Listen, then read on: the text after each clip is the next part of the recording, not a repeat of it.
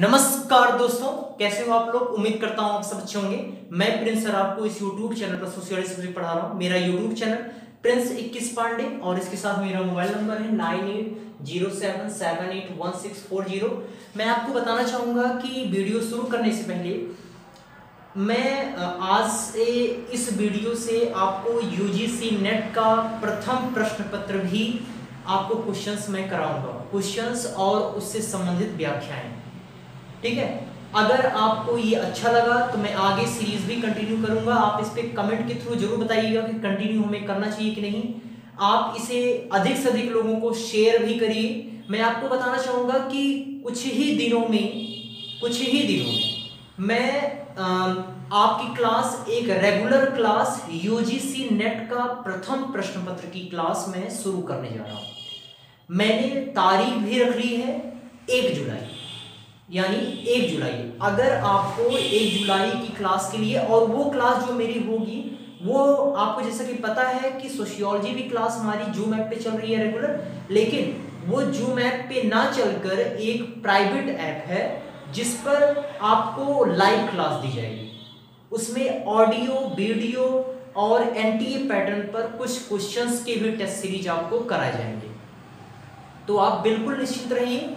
आपको UGC net प्रथम प्रश्न पत्र से संबंधित क्लास अगर ज्वाइन करनी है क्लास ज्वाइन करने के लिए आपको एक जुलाई से जो शुरू होने वाला है सेशन उस एक जुलाई से मैं आपको तीन दिन से चार दिन के बीच में फ्री डेमो क्लास देता रहूँगा और ये वीडियो आपको बिल्कुल फ्री प्रोवाइड किया जाएगा। जो नेट पेपर है नेट का प्रथम प्रश्न पत्र उससे संबंधित मैं क्वेश्चंस क्वेश्चन संबंधित व्याख्याएँ मैं आपको बिल्कुल फ्री प्रोवाइड कराऊँगा। ठीक है? तो आपको सोशियोलॉजी से संबंधित और यूजीसी नेट का प्रथम प्रश्न पत्र से संबंधित अगर क्लास ज्वाइन करनी है, वैसे तो अभी रनिंग में है, लेकिन अगर क्लास ज्वाइन करनी है तो आप इस नंबर पे इससे संबंधित कॉन्टेक्ट करिए और आपको बता दिया जाएगा। तो आप ये मैसेज जो मैं आपको अभी दे रहा हूँ, ये मैसेज भी आपको शेयर करना है और साथ में वीडियो भी। ठीक है? तो आप इसे शेयर करिए अधिक से लोगों को, अधिक से लोगों को बताइए, क्योंकि आप जब तक सेटिस्फाइड नहीं होंगे, तब तक आपका कोई पेमेंटिंग नहीं। आप बिल्कुल निश्चिंत रहिए, आपको क्लास अच्छा लगता है तो आप करिएगा, आपको क्लास नहीं अच्छा लगता है तो नहीं करिएगा। लेकिन इनविटेशन सबको है। आप इस नंबर पे कांटेक्ट करिए, आपका इसमें कुछ नहीं जाने वाला है, आप इस नंबर पे कांटेक्ट करिए। कांटेक्ट करने के बाद मैं आपको बता दूँगा, आप नेम और अपना जो नंबर है, उसके अकॉर्डिंग आप इसमें मैसेज भी कर सकते हैं कि मुझे यूएससी नेट का करना है या सोशियोलॉजी करना है तो उसके अकॉर्डिंग मैं एक जुलाई से जो बैच शुरू होने वाला है, उसमें मैं आपको शामिल कर सकूँगा। राइट तो ध्यान दीजिएगा ये चीज़। और इस संबंध और भी कुछ डाउट होगा तो आप इस नंबर पे कांटेक्ट करिए चलिए हम शुरू करते हैं। तो हम आज इस वीडियो से आपको यूजीसी नेट का प्रथम प्रश्न पत्र से संबंधित क्वेश्चन और उसकी व्याख्या मैं आपसे आज आज से प्रोवाइड कराऊँगा। ठीक है? और इसके अलावा भी हमारी सोशियोलॉजी की जो क्लास है और क्लास के साथ साथ वीडियो भी हम ये प्रोवाइड कर रहे हैं आपको मॉर्निंग की क्लास से। मॉर्निंग के रूप में। ठीक है? तो ध्यान रखिएगा, उसकी भी चलेगी और यूएस नेट का आज से स्टार्ट होता है। आई होप आपको अच्छा लगेगा। और अच्छा लगा तो प्लीज़ लाइक करिएगा शेयर करिए और सब्सक्राइब करिए और साथ में बेल आइकन दबाना नहीं भूलिएगा। चलिए शुरू करते हैं। पहला क्वेश्चन मैं आपको बताना चाहूँगा कि आज इसमें में मैं पहला यूनिट जो हमारा टीचिंग एप्टीट्यूड से संबंधित है, शिक्षण अभिक्षमता, उससे संबंधित मैं पहला क्वेश्चंस लेके आया हूँ। ये हमारा क्वेश्चंस है नवंबर 2017 का जो क्वेश्चंस पेपर है, उस क्वेश्चंस पेपर से पहला क्वेश्चन है चलिए आइए देखते हैं तो हम क्वेश्चंस पढ़ते हैं। क्वेश्चंस में हमको क्या पॉइंट आउट करना है? देखिए क्वेश्चंस हमें सॉल्व कराना है और व्याख्या सहित सॉल्व कराना है। अधिक से अधिक क्वेश्चन सॉल्व कराना है, ये हमारा पर्पज मेन नहीं है। हमारा चार क्वेश्चंस पढ़ना है, लेकिन चार क्वेश्चंस को बिल्कुल बेहद तरीके से आपको अच्छे से समझाना है। ये मेरा यहाँ पे पर्पज है राइट तो ध्यान रखिएगा। चलिए क्वेश्चन पढ़ते हैं। निम्नलिखित कथनों के समुच्चय में से, कथन के समुच्चय दिए गए हैं। कौन सा शिक्षण और अधिगम के प्रकृति नेचर उद्देश्य ऑब्जेक्ट को सर्वोत्तम रूप में प्रस्तुत करता है? देखिए, प्रकृति यानी प्रकृति के अंतर्गत हम शिक्षण को जानेंगे, अधिगम को जानेंगे, क्या होता है? उसके आधार पर शिक्षण का उद्देश्य क्या है और अधिगम का क्या उद्देश्य है, ये हम जाने जब तक हम अधिगम और शिक्षण नहीं जानेंगे, तब तक हम ऑप्शंस मेरे पढ़ने का कोई मतलब नहीं है। तो पहले हम शिक्षण जान लेते हैं और अधिगम जान लेते हैं। होता क्या है? आपको बताना चाहूँगा कि शिक्षण क्या होता है? शिक्ष धातु से बना है। शिक्ष धातु यानी शिक्षण के अंतर्गत सीखना और सिखाना दोनों शामिल होता है। मैं आपको बता देना चाहूँगा, मैथ, फिजिक्स, केमिस्ट्री, ये सब सारी चीज़ों के बारे में आपको बताया जाए सिर्फ़ और सिर्फ़ ये शिक्षण है तो ये आपका बिल्कुल ही गलत है। ध्यान रखिएगा, शिक्षण के लिए सिर्फ़ ये हो कि सिर्फ़ कुछ भी सिखाना। अब शिक्षण के अंतर्गत से आपके जीवन में, चाहे वो बौद्धिक संदर्भ में हो, सामाजिक संदर्भ में हो, या मनोवैज्ञानिक संदर्भ में हो अलग अलग परिप्रेक्ष्यों के संदर्भ में आपके जीवन को परिवर्तित करने का या आपके जीवन में एक अपेक्षित परिवर्तन करने का कार्य? ये कार्य किसका उद्देश्य है? शिक्षण का उद्देश्य। शिक्षण का उद्देश्य यानी ये है शिक्षा शिक्षा से है, जिसको सीखना सीखना और सिखाना।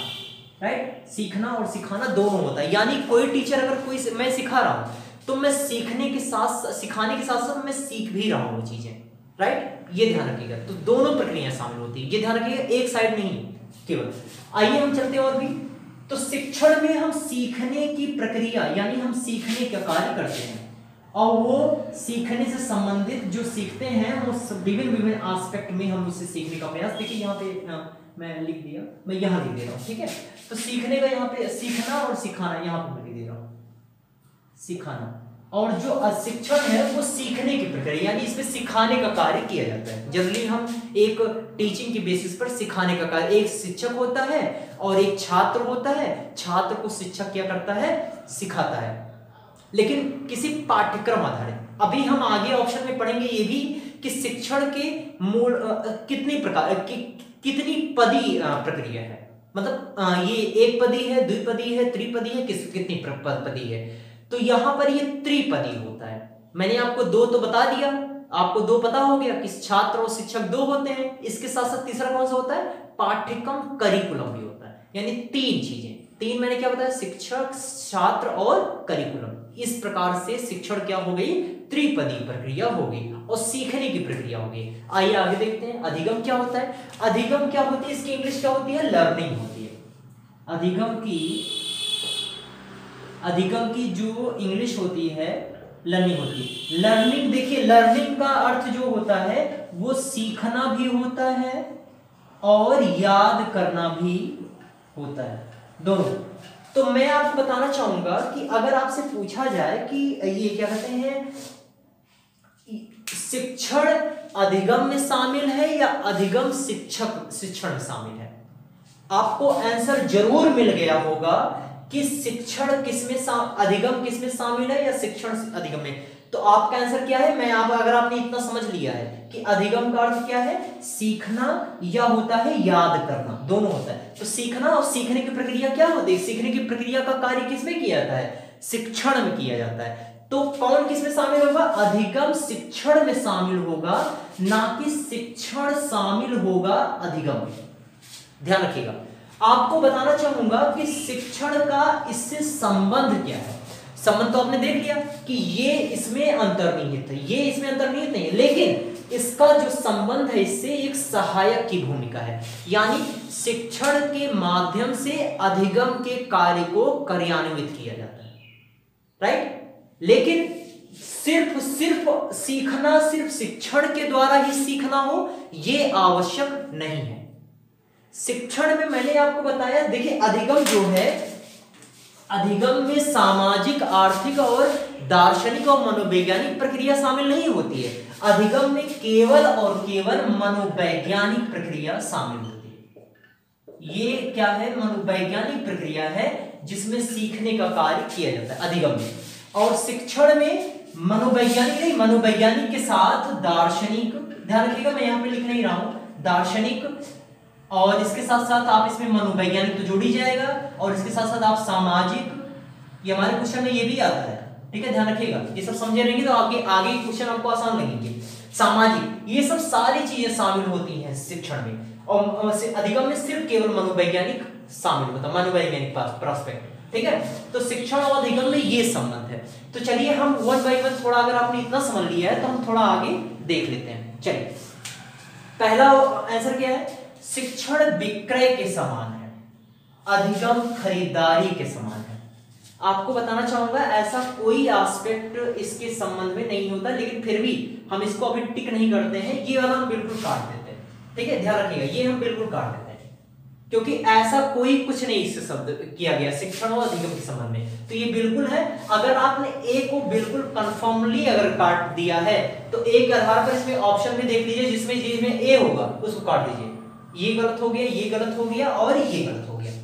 देखो ए को आपने निर्धारित किया और निर्धारण के आधार पर आपने बहुत सारे आंसर का आंसर निकाल दिया। सीधे आपका एक ही ऑप्शन बचा है बी सी डी अब आपका आंसर बहुत क्लियर हो गया, लेकिन नहीं, हम आपको अभी क्लियर कराएँगे। हमारा आंसर हम बोल देते हैं कि हमारा ट्रू आंसर सही है, लेकिन अभी हम पढ़ेंगे आगे। शिक्षण सामाजिक कृत्य है, जबकि अधिगम क्या है? व्यक्तिगत कृत्य है। सामाजिक कृत्य है, यानी शिक्षण में व्यक्ति विशेष को सिखाने का प्रयास नहीं किया जाता, बल्कि एक सामाजिक रूप में क्या किया जाता है, एक सामूहिक कार्य किया जाता है। लेकिन अधिगम क्या किया जाता है, अधिगम का संबंध किसी व्यक्ति विशेष से होता है। एक व्यक्ति की जो सीखने की प्रक्रिया है, वो उसकी व्यक्तिगत क्रिया, यानी अधिगम की प्रक्रिया कहलाती है। राइट? तो ये आंसर आपका क्या हो जाएगा? B answer is a correct answer. Next, शिक्षण में अधिगम निहित होता है। अभी मैंने आपको उसमें बताया था कि शिक्षण अधिगम में शामिल नहीं होता, बल्कि अधिगम शिक्षण में शामिल होता है। देखिए, शिक्षण में, शिक्षण एक बृहद प्रक्रिया है, और उस प्रक्रिया का भाग कौन है? अधिगम है। तो शिक्षण में अधिगम नहीं होता जबकि अधिगम शिक्षण को समाहित नहीं करता। यस, समाहित नहीं करता तो इसका आंसर क्या हो जाएगा यहाँ पे? बल्कि क्या करता है? एक सहायक की भूमिका निभाता है शिक्षण अधिगम का। ठीक है, ध्यान रखें समाहित नहीं करता। नेक्स्ट है, शिक्षण एक प्रकार का ज्ञान का अंतरण है, जबकि अधिगम इसे प्राप्त करने जैसा है। ठीक है राइट है। अधिगम के द्वारा, अधिगम क्या है? व्यक्ति की एक सीखने की एबिलिटी है, योग्यता है, जिसके आधार पर शिक्षण के कार्य को वो कार्यान्वित कर सकता है राइट तो यहाँ पे क्या होगा शिक्षण एक प्रकार का ज्ञान का अंतरण है, जबकि अधिगम इसे प्राप्त करने के जैसा है राइट नेक्स्ट ई ऑप्शन है, अधिगम एक अंत क्रिया है जबकि प्रकृति में त्रिपदी होता है। अब आपको कहा मैंने बताया, मैंने अभी जस्ट में समझाते हुए बताया था कि अधिगम अंत क्रिया है। सॉरी ये अधिगम अंत क्रिया नहीं, ये मैं आपको बताना चाहूँगा, ये अधिगम नहीं, ये ये उसका नाम है, क्या कहते हैं, क्या बोलते हैं इसे? और ये बी सी डी ऑप्शन नहीं होगा। ये ई e है ऑप्शन ध्यान रखिएगा, इस ऑप्शन में करेक्ट गलत हो गया था तो ध्यान रखिएगा इस चीज़। तो ये ये मिस्टेक हुआ यहाँ पे, देखिए, शिक्षण यहाँ पे होगा। शिक्षण एक अंत क्रिया है। अब वही तो मैं सोच रहा था कि यहाँ पे ये डी वाला आंसर कैसे सही मान रहा है, कि जबकि इसे अधिगम प्राप्त करने जैसा है। जबकि अधिगम इसे प्राप्त करने जैसा है। शिक्षण एक प्रकार का ज्ञान का अंतरण है। शिक्षण एक ज्ञान का अंतरण नहीं है, और जबकि अधिगम इसे प्राप्त करने जैसा है। मतलब शिक्षण के द्वारा हम अधिगम प्राप्त करते हैं। ये नहीं, शिक्षण के अंतर्गत अधिगम शामिल होता है। अधिगम की प्रक्रिया द्वारा हम अधिगम या सीखने की प्रक्रिया द्वारा, ये सीखने का जो कार्य है, वो शिक्षण के द्वारा कार्य किया जाता है। ठीक है? ध्यान रखिएगा। ना कि उसके द्वारा प्राप्त करते हैं अधिगम के द्वारा। शिक्षण एक अंत क्रिया है, ये आंसर आपका सही होगा। सी, बी, सी शिक्षण एक अंत क्रिया है प्रकृति में त्रिपदी होती त्रिपदी मैंने आपको क्या बताया यहाँ पे लिख लीजिए। शिक्षक शिक्षक छात्र और पाठ्यक्रम करिकुलम राइट ये चीज़ें। अधिगम एक विषय के अंतर्गत सक्रिय कार्य है। अधिगम एक विषय के अंतर्गत, यानी अधिगम के कौन सा विषय? मनोवैज्ञानिक। या मनोविज्ञान। मनोविज्ञान का भाग है अधिगम। और शिक्षण। शिक्षण शिक्षण किसका भाग है? शिक्षण एक बृहद प्रक्रिया का क्या है? भाग है। आई होप ये अच्छा लगा हुआ क्वेश्चन चलिए हम नेक्स्ट क्वेश्चन देखते हैं, इसे संबंधित टीचिंग एप्टीट्यूड से संबंधित सेकंड क्वेश्चन ओके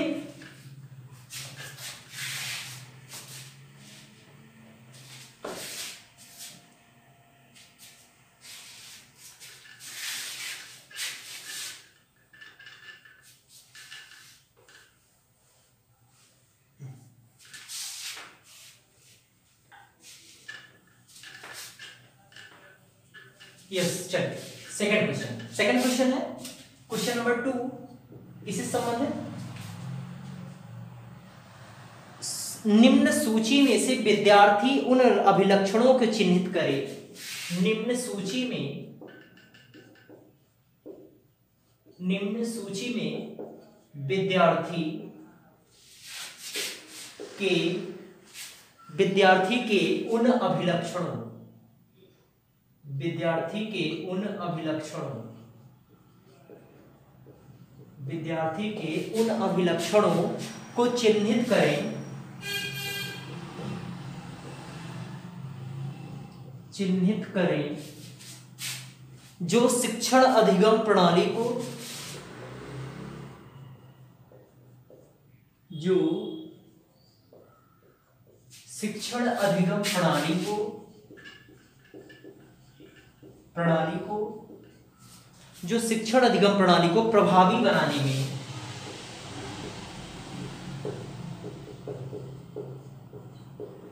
बनाने में सहायक है। सहायक है। अब इसमें देखिए हम पहला कथन देखते हैं। पहला कथन क्या है? विद्यार्थी का पूर्व विद्यार्थी का पूर्व अनुभव। दूसरा ऑप्शन है विद्यार्थी की पारिवारिक वंश परंपरा।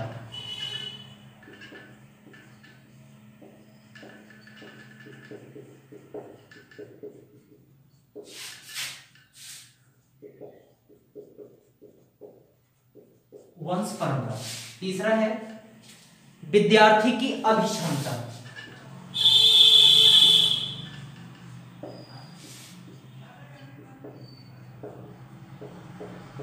विद्यार्थी की अभिक्षमता चौथा है, विद्यार्थी के विकास की अवस्था।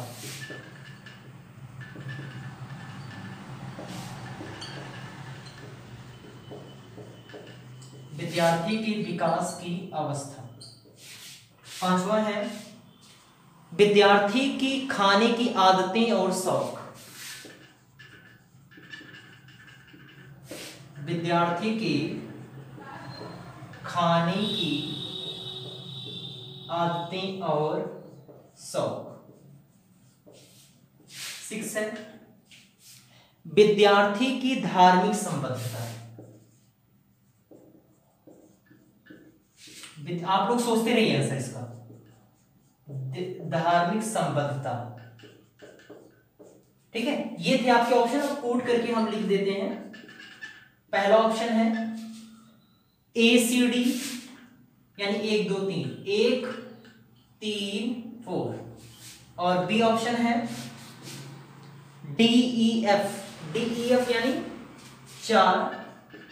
F D E F F C option है ए डी ई ए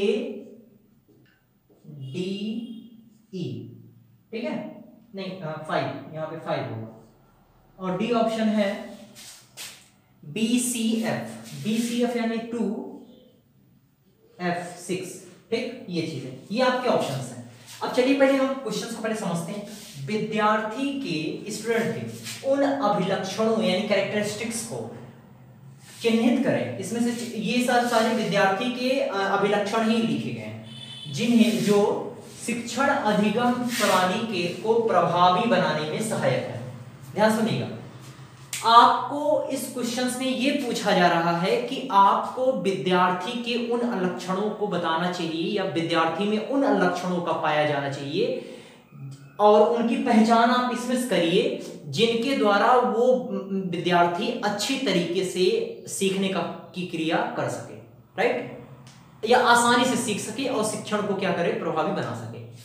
तो ऑप्शन पहला है, विद्यार्थी का पूर्व अनुभव आपको बताना चाहूँगा कि जैसा कि जो ऑनलाइन जो क्लास कर रहे हैं मेरी, मैं आपको, उनको मैं ये चीज़ बताता हूँ कि मेरी क्लास करने से पहले आप मुझे टॉपिक ज़रूर पूछ लिया करिए एक दिन पहले। यानी दूसरे दिन क्या मैं कराने जा रहा हूँ, उसके बारे में आप ज़रूर पढ़ लिया करिए। आपको दूसरे दिन बहुत बेहतर तरीके से समझ में आएगा जब मैं वही पढ़ाऊँगा। ये मैं बार बार कहता हूँ चीज़। तो यहाँ पर स्टूडेंट मेरे सामने जो स्टूडेंट है, वो स्टूडेंट का पूर्व अनुभव उस विषय से संबंधित कुछ हद तक ज़रूर होना चाहिए। मैं नहीं कह रहा हूँ, क्योंकि वो अपनी कमियों को ही दूर करने टीचर के पास जाता है, कि वो ज्ञानी होके जाएगा। लेकिन उसको रीडिंग के तौर पर, एक इंट्रोडक्शन के तौर पर विषय का ज्ञान ज़रूर होना चाहिए। ठीक है? तो यहाँ पे क्या है? विद्यार्थी की का पूर्व अनुभव तो आपका आंसर क्या हो जाएगा? सही हो जाएगा पहला। अब पहले के हिसाब से अगर जिसमें पहला नहीं है, आप उसको तुरंत काट दीजिए क्वेश्चन देखिए बी वाले में आपका पहला आंसर नहीं है। और डी वाले में आपका पहला आंसर नहीं है। इस सी वाले और ई वाले में है। तो आपको एक तो डिसाइड होगा कि अब दो में से हमको डिसाइड करना है, ठीक है? तो ए या सी में से कोई होगा। आगे देखते हैं। विद्यार्थी की पारिवारिक वंश परंपरा। एक चीज़ बताइए। व्यक्ति क्या सीखता है? छात्र क्या सीखेगा? छात्र क्या सीखेगा क्लास में? टीचर से क्या सिखा सिखाया क्या जा रहा है? इससे पारिवारिक वंश परंपरा से क्या संबंध है? कोई संबंध नहीं है। आप बिल्कुल ये चीज़ ध्यान रखिएगा, पारिवारिक हेल्प से कोई मतलब नहीं है। तो यहाँ पर आपका दूसरा आंसर गलत होता है। दूसरा आंसर देखिए, इसमें कुछ ऐसा है नहीं, इसलिए मैं नहीं बोल रख पा रहा हूँ इसमें। तो दूसरा आपका, देखिए, कहीं पर लिखा है, देखिए ए और सी में से कोई नहीं था, और इसी में था। तो ये तो गलती हो गया था तो ए सी में से अभी आपको नहीं मिला कंक्लूजन ये गलत हो गया। तीसरा, विद्यार्थी की अभिक्षमता, यानी सीखने की, जो उसकी अधिगम प्रणाली है विद्यार्थी की, वो कैसी है? ये बड़ी मायने रखती है ध्यान रखिएगा इस चीज़। तो विद्यार्थी की अभिक्षमता, देखिए तीसरा ऑप्शन तीसरा ऑप्शन के अकॉर्डिंग देखिए ए और सी में से कोई है ऑप्शन एक में देखो दिखाई दे रहा है। तो तीसरा आंसर आपके, विद्यार्थी की अभिक्षमता, ये बिल्कुल सही हो जाएगा। तो एक और तीन, एक और तीन के साथ में देखिए कहीं ऑप्शन मिला? यहाँ पे नहीं मिल रहा है। आपका आंसर ये ये बिल्कुल करेक्ट हो गया। लेकिन हम आगे भी ऑप्शन पढ़ेंगे। आपका आंसर देखिए यही मिल गया। आपको इसी तरीके ही अपने एग्ज़ाम में भी टाइम बचाने का प्रयास करना चाहिए। ये मैं एलिमिनेशन भी सिखाते इसीलिए चढ़ता हूँ कि आप इसमें सीख सको कि आपका आंसर अगर यहाँ मिल गया आसानी से। तो आप आगे पढ़ने की आपको ज़रूरत नहीं है। ये बिल्कुल मान लीजिए। आगे, विद्यार्थी के विकास की अवस्था ये भी कहीं ना कहीं मान्य रखती है। आगे पढ़ लेते हैं थोड़ा। विद्यार्थी के खाने की आदत की कोई मतलब नहीं इससे। विद्यार्थी की धार्मिक संबंध क्या धर्म से कोई मतलब है, कोई मतलब नहीं है सीखने होने से। ठीक है? तो पांचवा छठा गलत हो गया। आपका answer fourth is the correct answer तो वन थ्री फोर ये आंसर आपका क्लियर हो गया। आई होप समझा होगा आज हम आपको सिर्फ़ दो ही क्वेश्चंस कराएँगे। इसके साथ ही हम क्वेश्चंस का एवरेज बढ़ाएँगे। आज मैं आपका ये जान, देखना चाहता हूँ कि आप लोग कितना इसको शेयर किया है।